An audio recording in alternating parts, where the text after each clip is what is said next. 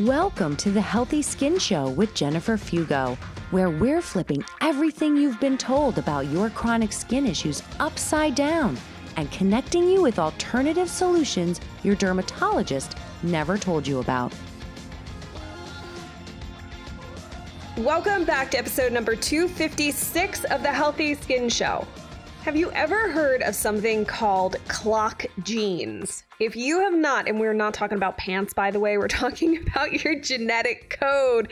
There are certain genes called clock genes, and they are connected to the natural rhythms of the world sunlight exposure, darkness, and whatnot. And we're going to be talking about how that is connected not only to your general skin health, but your overall health. I love this topic. This was a really awesome interview, and I learned so much. So I'm excited to share this with you. My guest today we have been trying to work this out for six months to get her on the show. Actually, it might have been even more than that.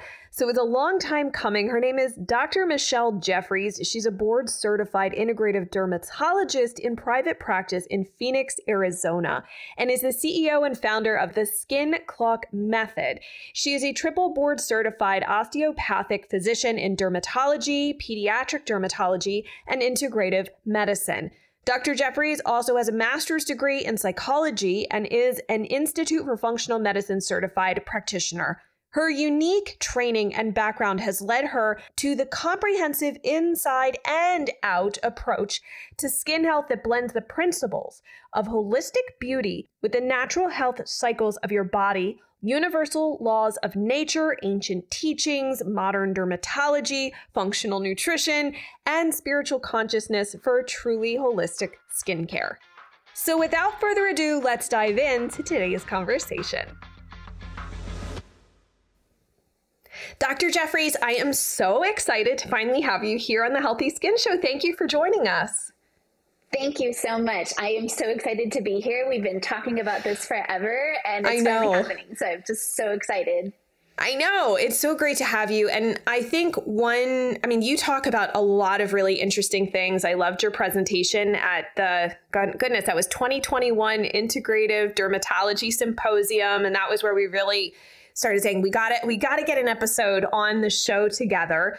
Um, and I love that what you're going to be talking about today has to do with this we're gonna we're gonna define all these terms everyone. The circadian rhythm and how that impacts the skin. We're gonna talk about clock genes and all sorts of stuff. So it's really important for you to understand that there's more to your skin than just your skin. So with that said how about let's start with what is a circadian rhythm? Just so people can understand because i think it's a term we throw around a lot but everybody might not actually know what that is Yes, it's one of those lovely Latin terms. It has Latin roots, just like a lot of the medical terminology. So if you break it down, circa means about, and um, you know, diem means day. So a circadian rhythm is a rhythm that happens within a 24-hour period or a day and it's actually related to um, the Earth and the Moon and how everything is rotating. Um, and so it's kind of interesting that it's related to just how the planet operates that we're living on. That is awesome. And so, in terms of the body and how it shows up in the body, what does that look like then? There's obviously like hormonal connections and whatnot.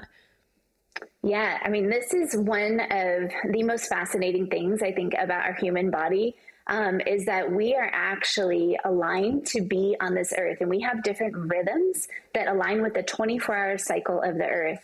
And it's incredible because there's different parts of, you know, where we live in this world and our bodies will align with that rhythm. So in some parts, the daylight hours are a lot longer. In other places, they're a lot, you know, the nighttime is longer also seasons change too. And so our bodies adjust. And it's not just us, it's plants, it's animals, it's insects, um, even microbes adjust to these different light um, conditions.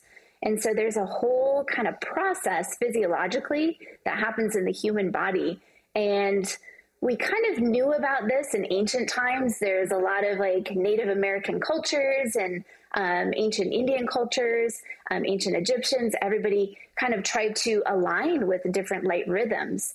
And it's just within the past, you know, maybe 20th century that we've really broken it down into modern technology and science and, you know, understand how it works in the body.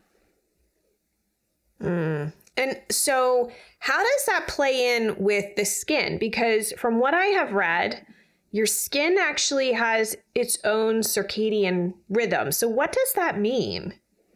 Yeah, so the skin actually has a rhythm of day and night where certain processes of the skin operate during the day and then they go more dormant at night and then other things get activated. And this is all controlled by our perception of light and dark. And it actually starts with our perception of light and dark in the eye. So we have little receptors in our eye that determine the gradients of light. And then they send messages to a little tiny, tiny, tiny part of our brain um, called the suprachiasmatic nucleus. So I just talk about it as the SCN because who knows what suprachiasmatic nucleus means. But it's this little part in our brain, and then that sends um, different signals depending on the activation or deactivation of that to the rest of the body, including the skin. And so all of our cells in our skin can actually tell time but not only just our skin, our gut, our hormones, um, our nervous system, our microbes that live on our skin. It is incredible. So as soon as I started learning about this, I just became super, super fascinated of like, well, how the heck can our skin know if it's day or night? Like, how, how does that work? It was incredible. So um, it's incredibly fascinating. It is. And so we, I had mentioned before about clock genes. So how what are they? And is how is this connected to your circadian rhythm? Right. So um, clock genes um, the way that it came about figuring them out is kind of interesting. In the 1700s there was an astronomer and he noticed that different plants opened during the day and closed at night and then there was a mimosa plant that actually was able to open and close at its own rhythm even when it was kept in the dark so after that, a lot of research came about to discover well, what is going on with the genetics of the plant, maybe, or what what processes are happening. And as technology has advanced, and we've you know learned a lot about molecular technology, there's been a lot of advancements of figuring out the genes that get turned on and off depending on light.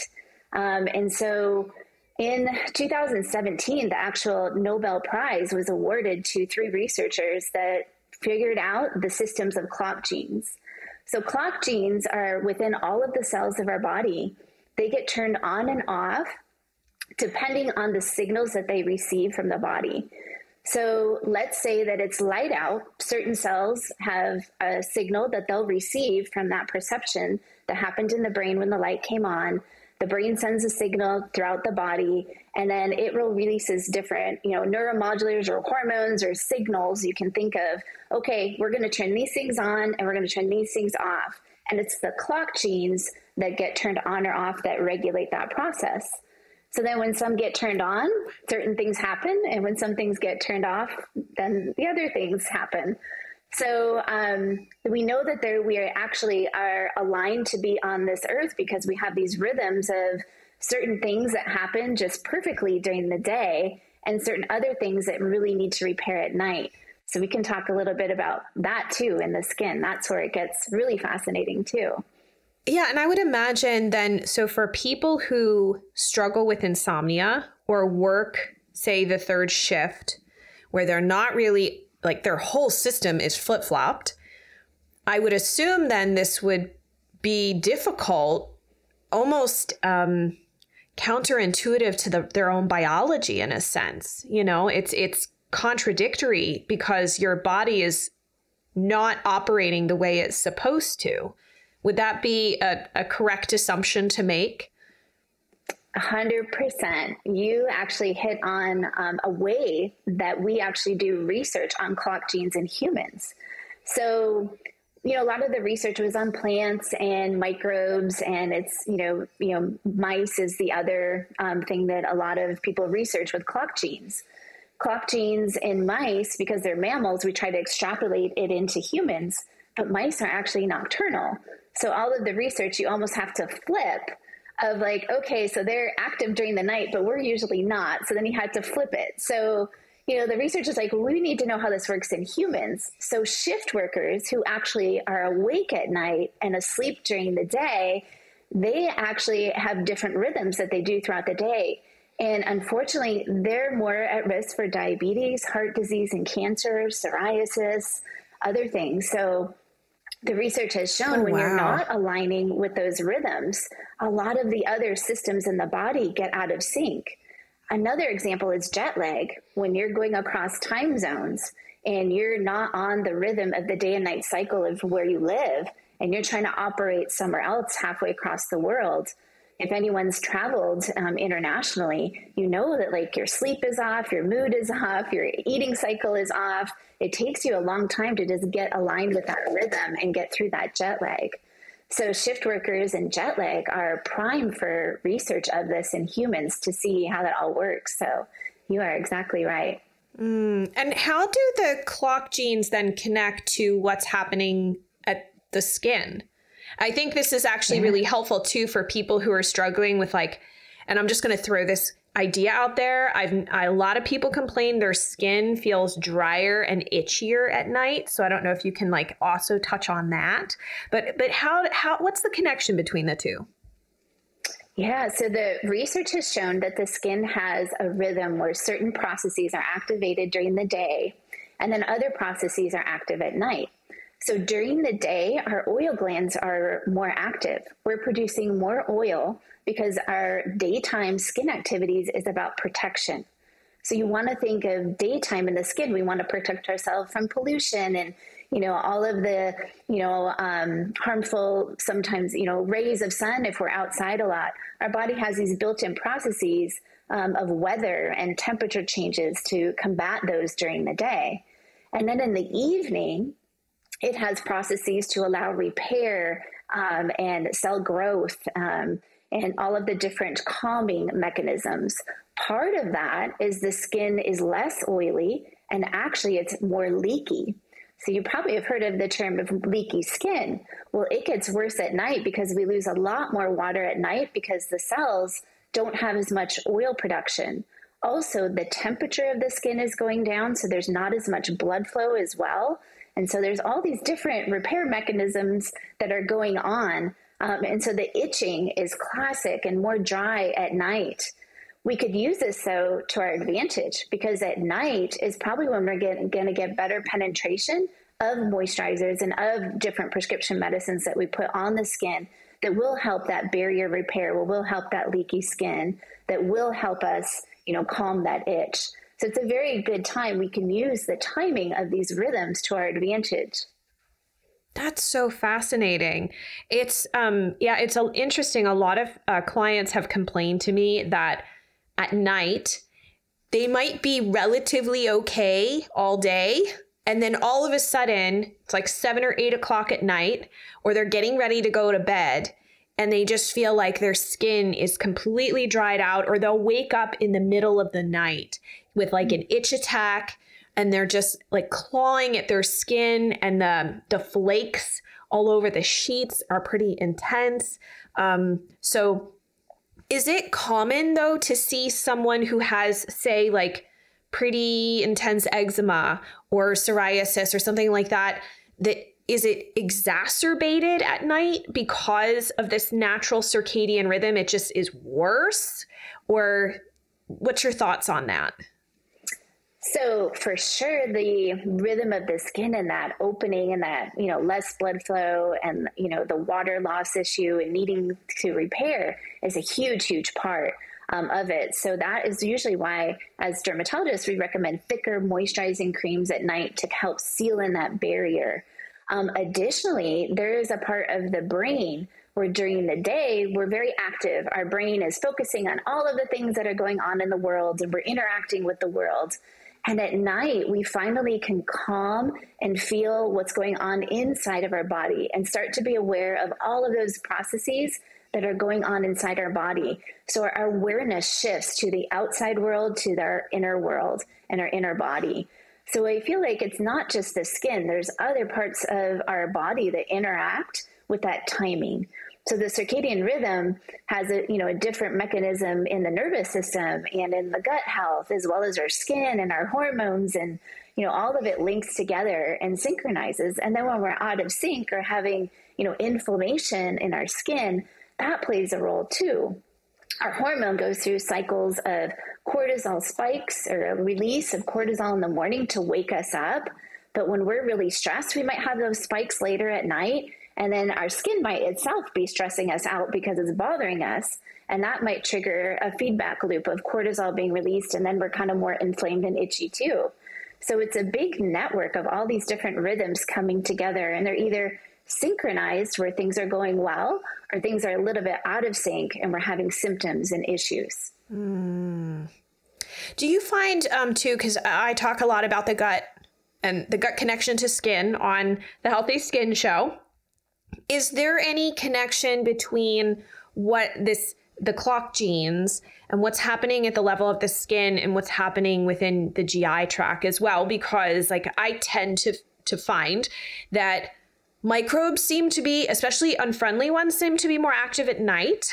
You know we always hear like parasites are more active at night fungus etc so is there any what do you see in the research that you found has been interesting on that front yeah, I mean, it is fascinating to know that there are clock genes in our gut and in the microbes that live in the gut.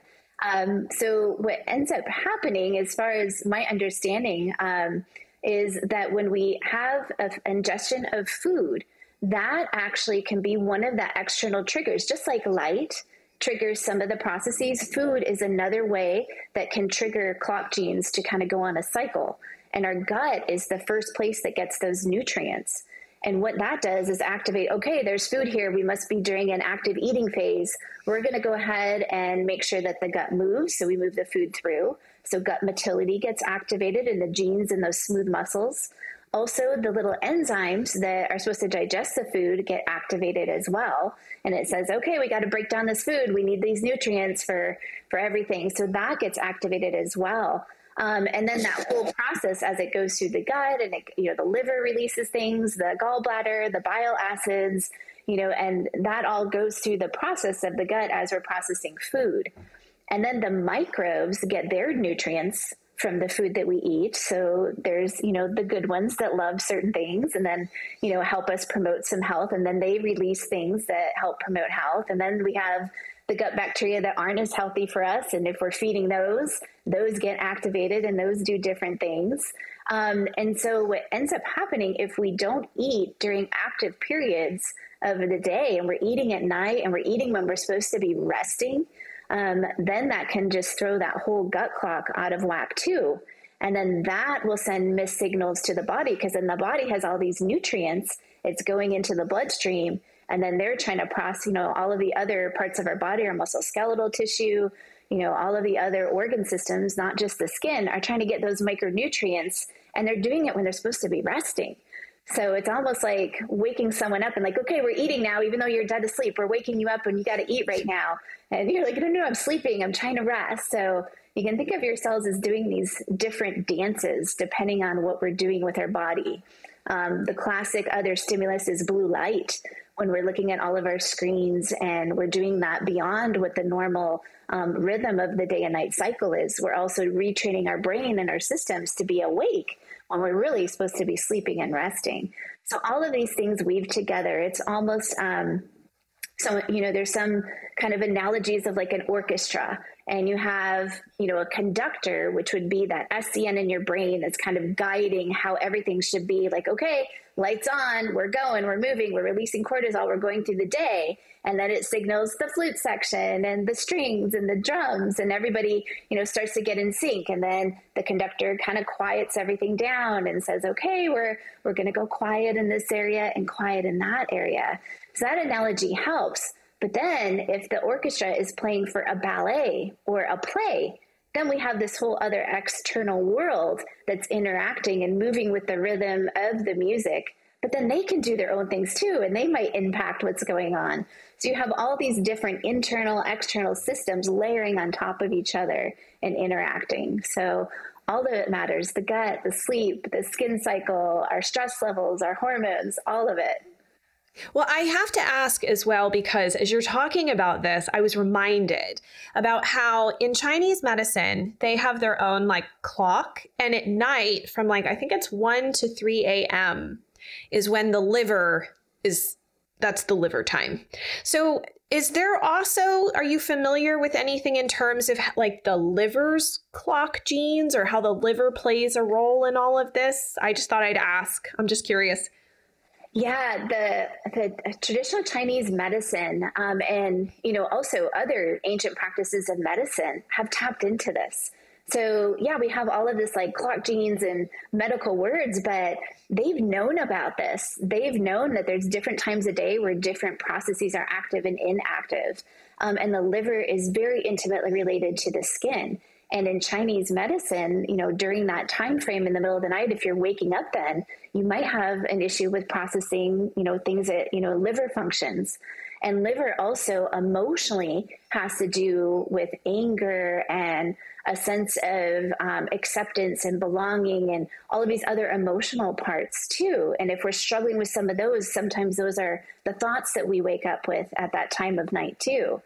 So traditional Chinese medicine has like blended together all of these. There is actually a lot of literature on the liver and clock genes. I haven't dove exactly into that. Um, I've been more interested in like, wow, ancient like practices are linking up to things that we're just now figuring out in our technology, but they've known about it. So um, the focus of what I've been looking into is the gut and the skin and the nervous system but the the liver itself um, when i did google the you know clock genes in the liver it is one of one of the areas that has a ton of research. So i'm not familiar wow. with all of it but it's totally fascinating because the liver does hundreds of functions of our body. So it has a lot of you know integrations with all the other systems too. So it's a great great question and great way to explore it yeah, it's just so so fascinating to see how interconnected the different systems are. And this is just like another layer to it. I think it might also help to explain for some individuals that like you're not broken if you're struggling at night more, but this helps you to understand that there is something physiologic going on that may be contributing to an exacerbation of symptoms. Do you, for, for someone who maybe has comp- a compromised skin barrier and they're really struggling at night, is there anything that they could begin to do that you recommend as a dermatologist that could be helpful at all? I know you said about using like thicker moisturizers and whatnot. Um, but even from a lifestyle perspective, or just anything to help maybe, I don't know, come in more alignment with the clock genes. Is there some way that we could not be fighting against our own biology? Yes, I mean there's there's so many little things you can do, and um, you know some people just want to do them all all at once, and for some people it can be just a few little tweaks, and then it makes a big difference and then you can build on them. So you want to think of um, our skin and all of the other body systems as we need to rest and restore. So the theme of what you would do in preparing for sleep and preparing for rest and preparing your skin to not be inflamed and to calm is we got to calm the body on all those levels. So you want to think of you want to calm the mind.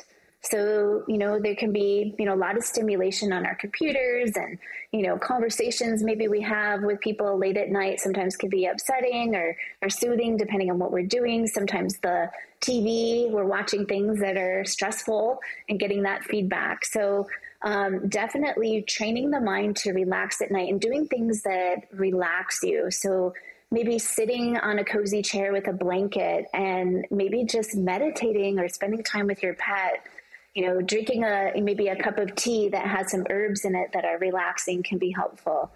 Really, you know, maybe stepping outside and looking at the stars or, you know, paying attention to what, you know, the world looks like around you at night, um, sitting by a fireplace or ambient light, being sure you're dimming the lights in your home can be very, very helpful too.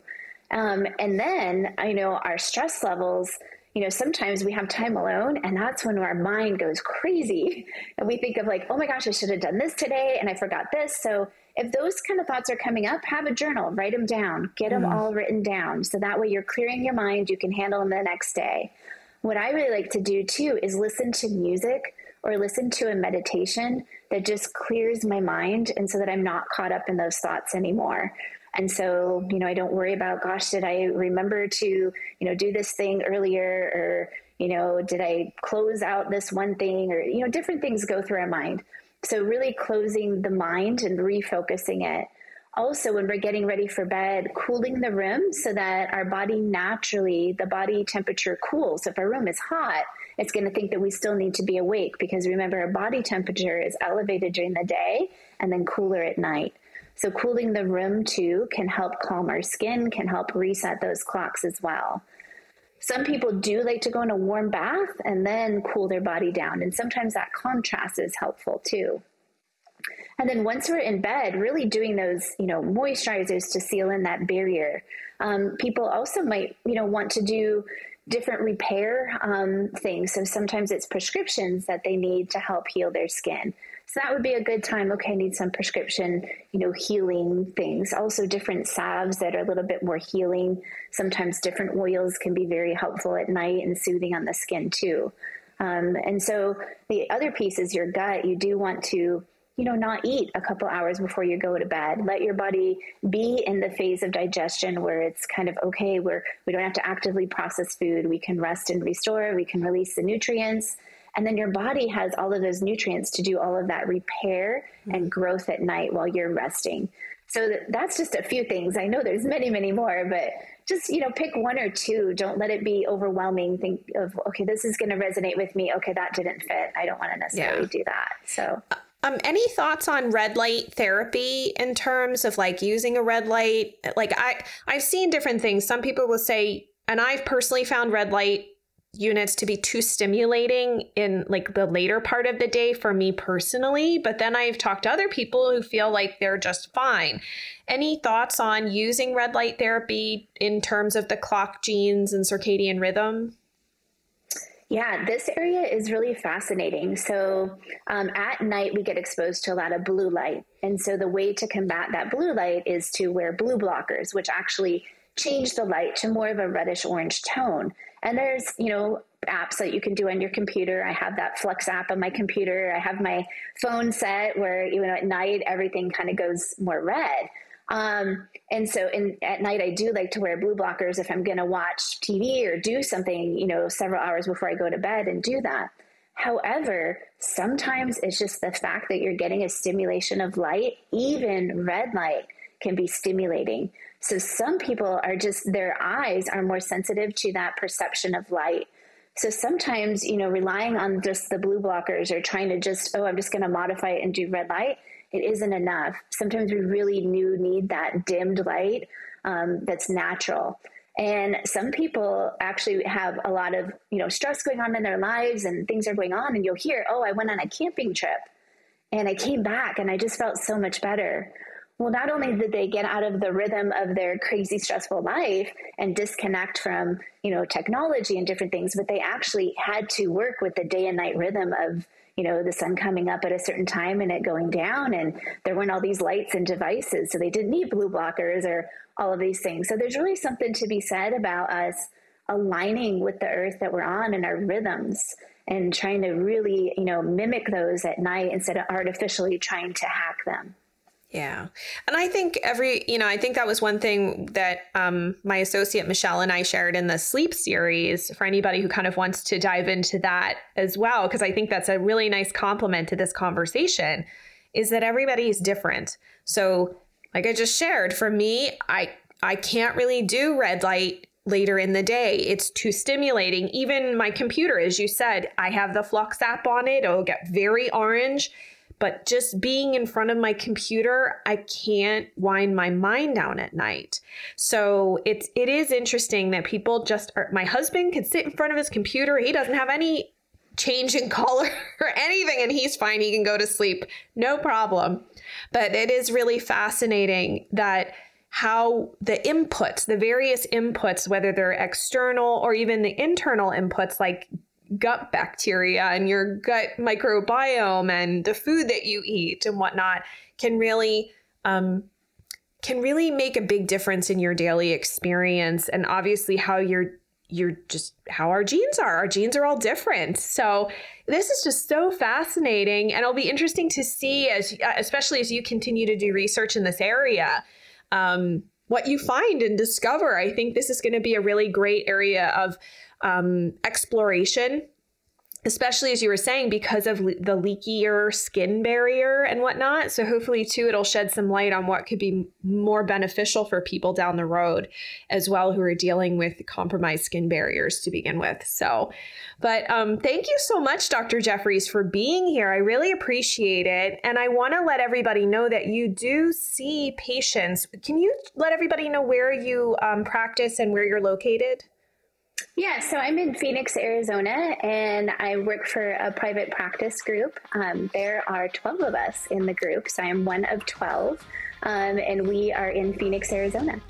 Cool. And they can find you at drjeffries.com as well as on Facebook and Instagram. I'll make sure to put all the links there.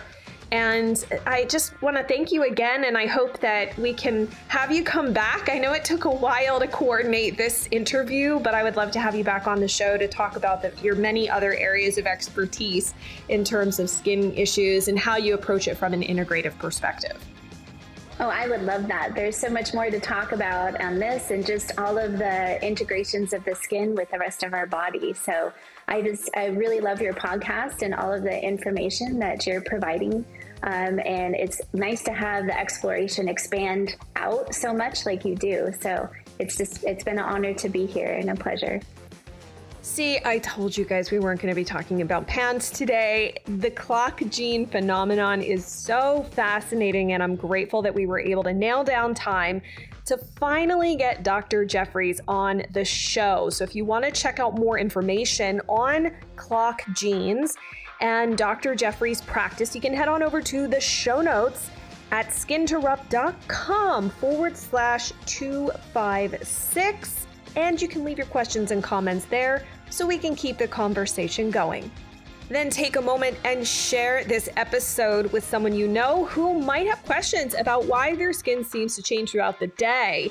This has some really interesting implications about trans epidermal water loss, right? Because we know that the skin has a circadian rhythm, and this could help put some of the pieces together for someone else who's trying to figure out their own skin rash case. Now, if you haven't taken that moment to rate and review the Healthy Skin Show, please do that. Take a moment. It only takes a minute or two. I would greatly, greatly appreciate it. And then make sure to hit the subscribe button. That way, you never miss a weekly dose of new research, strategies, and all sorts of tips to help you rebuild healthy skin. Then let's connect over on Instagram and online. I'm at Jennifer Fugo. Thank you so much for tuning in, and I'll see you in the next episode.